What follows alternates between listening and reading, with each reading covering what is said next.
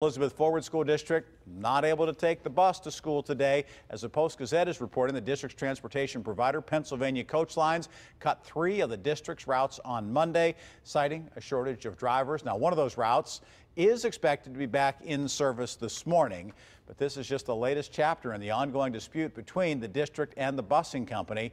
Remember, the start of the school year it was delayed because they didn't have an agreement worked out.